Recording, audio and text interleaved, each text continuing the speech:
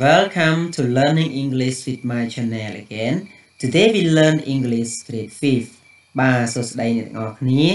បាទសូមស្វាគមន៍ចំពោះការចូលមកកាន់ channel របស់ខ្ញុំបាទថ្ងៃនេះយើងរៀនភាសាអង់គ្លេសថ្នាក់ទី5 Unit 1 Working on the farm បាទមេរៀនទី1ដែលមានម៉ងជើងថា ការធ្វើការនៅឯកសិដ្ឋាន B បាទថ្ងៃមុនយើងរៀន A ឥឡូវយើងចូល B បាទ Okay, now go to learn our lesson altogether. Let's go. Okay, today we learn about conversation បាទថ្ងៃនេះគឺយើងរៀនអំពីការសន្ទនា Okay, today the first time please translate sentences បាទអញ្ចឹងសម្រាប់ដំបូងគឺយើងបកប្រែល្បះសិនណាដើម្បីឲ្យអ្នកទាំងអស់គ្នាយល់បាទភាសាបងប្អូនហាក់ទី5ណា Okay, the first sentence What do What does your father do? What does your father do? តើឪពុករបស់អ្នកធ្វើការអ្វី Second My father is a farmer. My father is a farmer. ឪពុករបស់ខ្ញុំគឺជាកសិករ Third sentence What does your mother do? What does your mother do តើម្ដាយរបស់អ្នកធ្វើការអ្វីដែរ My mother is a farmer too My mother is a farmer too ម្ដាយរបស់ខ្ញុំគឺជាកសិករដែរ Where do they work Where do they work តើពួកគាត់ធ្វើការនៅឯណាបាទឬក៏គាត់ធ្វើការនៅឯណាក៏បានណាប៉ុន្តែដោយសារតិទីបកប្រែថាពួកគេណាប៉ុន្តែដោយសារពុកម្ដាយរបស់យើងក៏ហៅថាពួកបកថាពួកគេទេថាបកប្រែថាពួកគាត់ណា Where do they work តើពួកគាត់ធ្វើការនៅឯណា They work on the farm They work on the farm គាត់ធ្វើការនៅឯកសិដ្ឋាន Okay now read all the sentence with me conversation. Translate con uh, sentences. What does your father do? My father is a farmer. What does your mother do? My mother is a farmer too. Where do they work? They work on the farm. Okay, thank you. Now go to another sentences បាទតែចូលចូលទៅប្រយោគផ្សេងទៀតអូខេ What animals are on the farm What animals are on the farm មានសត្វតើមានសត្វចិញ្ចឹមអ្វីខ្លះនៅឯកសិដ្ឋានណាមានសត្វអីខ្លះបាទនៅឯកសិដ្ឋានហ្នឹងណាបាទ អូខេតោះតទៀត There are some sheep on the farm and fish in the pond There are some sheep បាទ on the farm បាទមានសត្វជៀមខ្លះនៅឯកសិដ្ឋាន and fish in the pond បាទហើយត្រីនៅក្នុងស្រះបាទនេះ អូខេបាទនេះយើងមើលរំលឹកឡើងវិញបាទនេះ farm ណាបាទ farm គឺជាកន្លែងដាំដំណាំចំសត្វហ្នឹងបាទ farm ណា hand ដៃ pond ស្រះ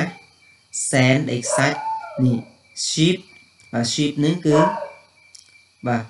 sheep បាទកន្លែងនេះអឺខ្ញុំប្រហែលជាបញ្ចេញសម្លេងខុសបន្តិចណាបាទអញ្ចឹងដោយសារតែពាក្យអឺប៉ាល់ហើយនឹងអាពាក្យ សត្វជៀមហ្នឹងចង់ប្រហែលគ្នាបាទ sheep បាទ sheep sheep បាទគឺសត្វជៀមបាទអូខេតោះឥឡូវយើងអានឡើងវិញអស់គ្នា What animals are on the farm There are a deer អូបាទសុំតោះកន្លែងនេះភ្លេចអាមទៀតណា There are some sheep on the farm បាទកន្លែងភ្លេចអាទៀតបាទ and fish in the pond បាទ farm hen pond sand sheep អរគុណច្រើនតើឥឡូវយើងចូលទៅចំណុចបន្ទាប់ទៀតណោះតើឥឡូវយើងមកចូលការសន្ទនារបស់យើងអូខេ first listen to your teacher and repeat ស្ដាប់គ្រូបង្រៀនរបស់អ្នកហើយថាតាមអូខេតោះឥឡូវយើងថាតាមខ្ញុំទាំងអស់គ្នាមក What does your father do? What does your father do? My father is a farmer. My father is a farmer. What does your mother do? What does your mother do? She is a farmer too. She is a farmer too. អូខេ អញ្ចឹងមានមនុស្សពីរនាក់គឺគេជជែកគ្នាអំពីការងាររបស់ពុកម្ដាយគេណាបាទអញ្ចឹងមុនដំបូងគេសួរបាទគេសួរឈ្មោះគេសួរថាឪពុកនឹងធ្វើការអ្វី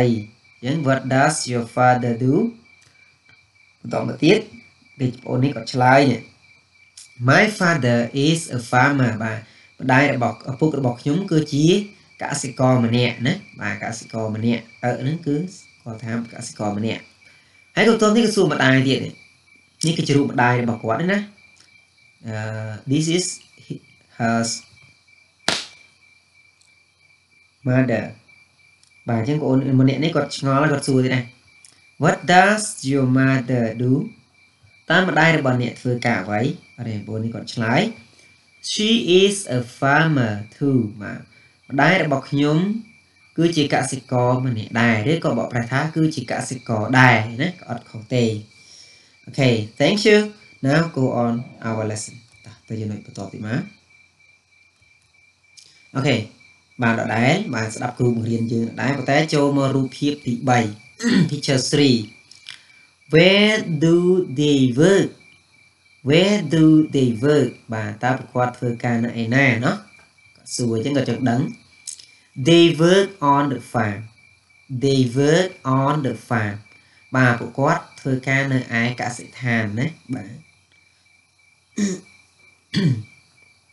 បាទគាត់សួរតទៀតគាត់ចង់ដឹងម្នាក់នេះប្រហែលជាអ្នកអត់ដែលទៅធ្វើស្រែធ្វើជាការអីទេបាទតាមពិតនេះគ្រាន់តែឧទាហរណ៍ទេបាទ what animals are on the farm what animals are on the farm តើមានសត្វអ្វីខ្លះសត្វចិញ្ចឹមសត្វពិហនៈគឺសត្វចិញ្ចឹមហ្នឹងអ្វីខ្លះនៅឯកសិដ្ឋានហ្នឹងបាទយើងឃើញនេះកសិដ្ឋានគាត់មានតាំងពី palm tree coconut tree បាទមានតាំងពីដើមត្នោតដើមដូងណាអានេះប្រហែលជាស្រូវមើលទៅឬក៏អស់ស្មៅបាទអូខេ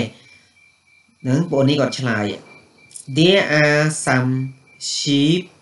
on the farm and fish in the pond បាទ there are some sheep បាទកន្លែងនេះត្រូវមាន s ណាបាទអឺនៅមានសត្វជៀមខ្លះខ្លះនៅឯកសិដ្ឋានហើយត្រីគឺនៅក្នុងស្រះ and fish in the pond អូខេតើយើងអានទាំងអស់គ្នាឡើងវិញ Where do they work They work on the farm. What animals are on the farm? There are some sheep on the farm and fish in the pond. Okay, thank you for your practice English with me, especially for grade 5 student. Okay, continue. Writing បាទអញ្ចឹងសំណេរបាទ writing បាទ writing ការសំណេរឬក៏ការសរសេរ write the missing words in your notebook បាទសរសេរពាក្យដែលបាត់ឬក៏ពាក្យដែលមិនឃើញណានៅក្នុងសៀវភៅសរសេររបស់អ្នកបាទអញ្ចឹងអត្ថបទទាក់ទងទៅនឹងអត្ថបទនេះគឺយើងបានរៀនរួចហើយណា you study already about this paragraph បាទអត្ថបទនេះណាយើងបានរៀនរួចហើយបាទអញ្ចឹងគេឲ្យយើងបំពេញហ្នឹងហើយ there are five words and five